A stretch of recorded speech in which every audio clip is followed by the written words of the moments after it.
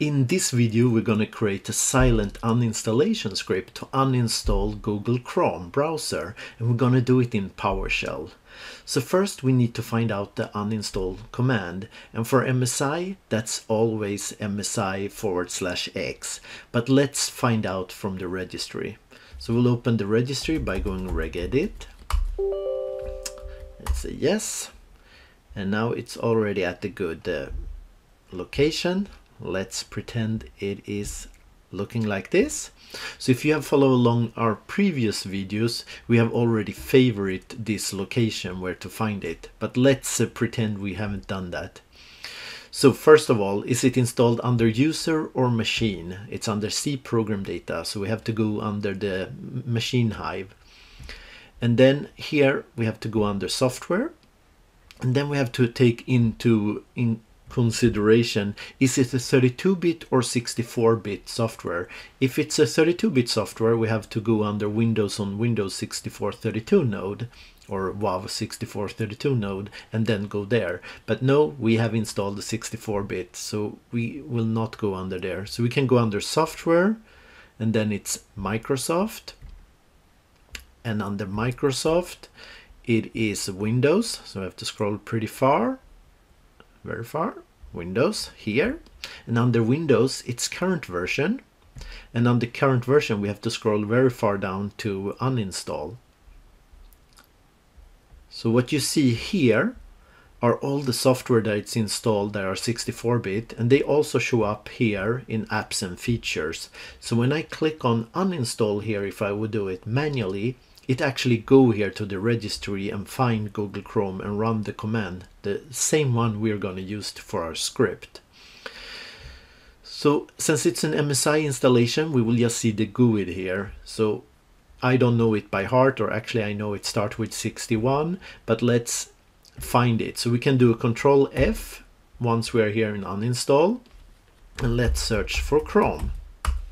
So now after the search we have found, and it, yes, it starts with 61, and here we have found our Google Chrome. Let's look for the uninstall string key, and here we actually have the value that we can use for our script. So I'm gonna copy this one. Let's right click and copy. So now we have our value. Let's start to create the script. So I'm going to be using Notepad++. You can be using Visual Studio Code, Atom, or your favorite editor. So start here. Let's start to create, I'm going to paste what we have so we don't lose that. So here it's going to be the installation string and it's not going to run like that in PowerShell. Let's create a comment with a hash sign and then put purpose.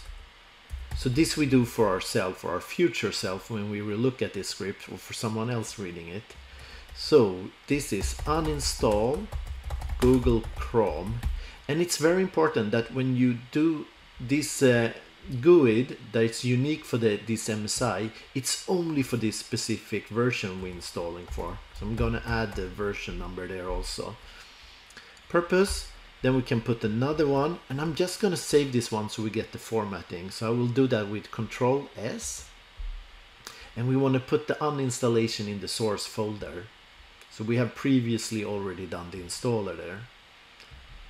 So here under source, and I'm going to change the txt type to all files. And I'm going to be lazy. I'm going to select the install file and just change the beginning from install to uninstall. And at the same time, I'm going to take the version number here, do a control C, and let's save this one and we can paste the version number up here. So now we get the formatting. Everything that is green are just comments and it's not going to be used by the script. Let's put the author and I put myself here and date. And today is 12th, 12th August. Wow, August 2021 uh, for me while recording this and then we can do another comment where we just say uninstall Google Chrome And this could have been a one-liner, and then normally in Intune you don't actually need a script. We could have pasted this directly, we come to that later, but I prefer to have it as a script if you want to do extra stuff later. So now let's come to the command. We can expand a bit on this command. So it's not it's possible this, this one could be silent, but to be really sure that it's silent and best practice is to add a forward slash qn. Then we know it's silent. And I like to add a script, a log file also, so forward slash l. And the path could be anything. It could be C Windows temp. I like to put it under program data, program data in my own folder, gbn logs. And let's name this backslash uninstall Google Chrome. Version number I will paste it. X64.log and I put the quotation at the end I need a quotation double quotation at the beginning. But anyway we're not going to use this line. We're going to copy in that into the PowerShell code. But if we run this in the CMD that would totally work. So one thing to take in consideration here is that the program data gbn logs file doesn't exist by default on a Windows machine. So we must make sure that folder exists before running this command. If not, it can fail or it will fail if this folder doesn't exist. So let's verify, let's start with that. So I'm going to do another comment, verify folder, and I'll paste the name, exist exists. If not, create it. So how can we test that it exists? We can do an if statement and then a parenthesis and within there we can do a test path and then verify that this one exists. But we want to do the opposite. If it doesn't exist, so I'm to add an exclamation mark here, which means uh, negative. So if it doesn't exist, if this folder doesn't exist, do what's between these two curly brackets and we can do a new item so we want to create a new item if this one doesn't exist and then we can ask item type and it's going to be a directory. And where is it? Path. It's here. I'll put double quotation which is actually not needed. There's no space in it. And let's force it. So this these lines going to make sure that if C program data GBN logs doesn't exist, it's going to create it. So that ensure the logging is going to work. Now let's go back here. So let's do uh, uh, start process. What should we start? Well, we're going to start MSI exec.exe and we have spoken a bit about MSI exec in previous videos, but if you have not followed along, I do a quick recap here. If we open a PowerShell command and then type msi exec.exe and then do forward slash question mark, we get to see all the switches that it support. And to uninstall here, you see it's a bit small maybe, it says forward slash x, and that's exactly what we're using. And you can call the MSI itself, we could have done that, or the product code. The product code is preferred. So if we go back here, it's exactly what we have here, uh, forward slash X and the product code. And then we added some other switches that was explained there as well. Then we add argument, argument list. What should we add in extra? Well, we want to add, so this part we have already used, so I'll remove that. Let's copy in this. This is the argument list all the way except the double quotation. So I'm going to do control X and cut this and then to paste it in here. Let's see, I'm to zoom out a bit so it, we can see everything. There, well, nearly. I want bigger. See if I can make it. No, I can't. Okay, there.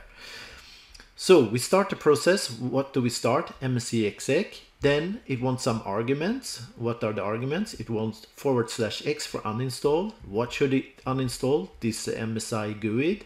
And we want it totally silent. The Q is for silent. The N is for new uh, uh, user interface. And as extra, not really needed, but I like to do log forward slash log, where to log it into this place. And again, this folder here is not native on Windows. So we have to be sure it's there. So we verify if the folder is not there, we create it. Now this file start to look pretty good. Let's test run it and see if this actually will uninstall Google Chrome. Just verify that we have Google Chrome installed. Yes, we do. It's here. So to test run it, we'll go to our source folder, underscore Intune, Google Chrome, and source. And here you can do Alt F on your keyboard, Alt plus F, and then you can type S for open Windows PowerShell, and then A for open Windows PowerShell as administrator. Because we definitely have to be administrator to uninstall. So let's do, we do a dir this time, you can do an ls as well. And this time we want to run the uninstall. So let's do uh, dot for current correct uh, current directory and backslash and un and then I'm gonna tab. Here it is. And I'm gonna move this one down, gonna minimize this and see if we can have see Chrome at the same time. For some reason that seems difficult to do. Let's put it this way and let's run our script and see if Chrome. Actually, a good test is to have Chrome started to see if we need to kill it before uninstallation. Some software can't uninstall while it's running, then you need to add an extra line to uh, kill the process first.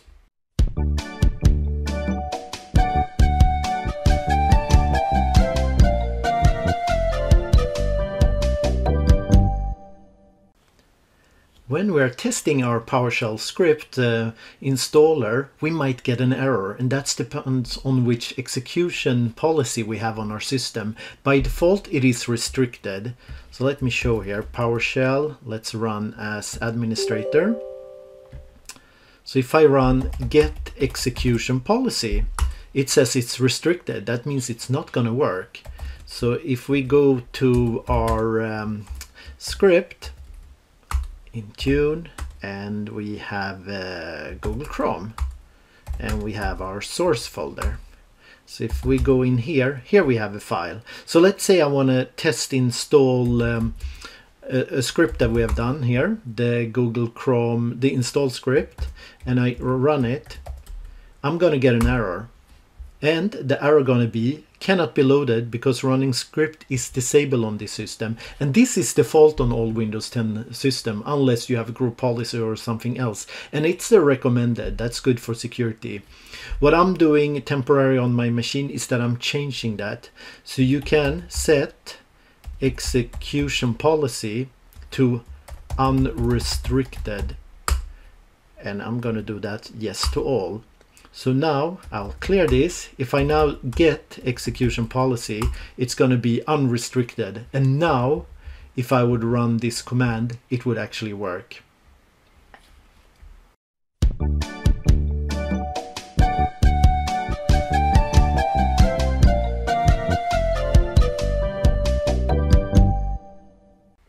So we have Chrome started. Let's run this uninstallation command and see if it works it's gone here and it's killed here. It looks to be a success. Our script worked. So quick recap.